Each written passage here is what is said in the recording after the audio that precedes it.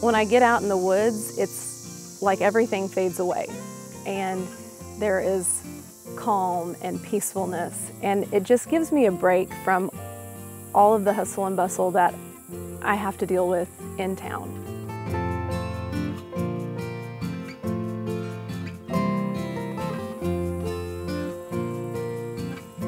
I didn't grow up hunting.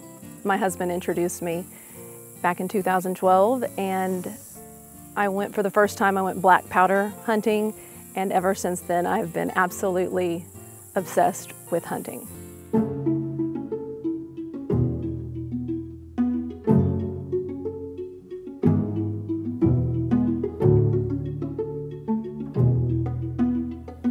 It doesn't matter what comes out of the woods, whether it's a great big buck, a little fawn, or a doe, or yeah, sometimes even a squirrel can get me.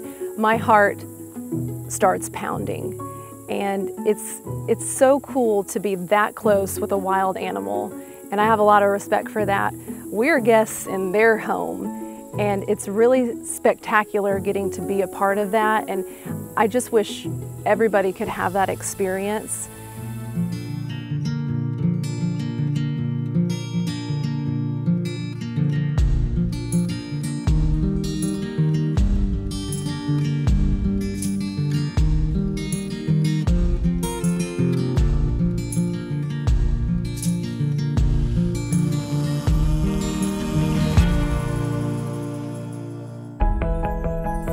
On those early morning hunts, going into the woods, I, I, won't lie, sometimes I'm a little nervous when I'm walking in by myself. Climbing up into my stand, getting all set up in the quiet of the early morning before the sun even comes up is peaceful. And then people say it all the time, but I'm, so I'm just gonna say it. I mean, you get to watch the woods wake up. You get to hear the woods wake up.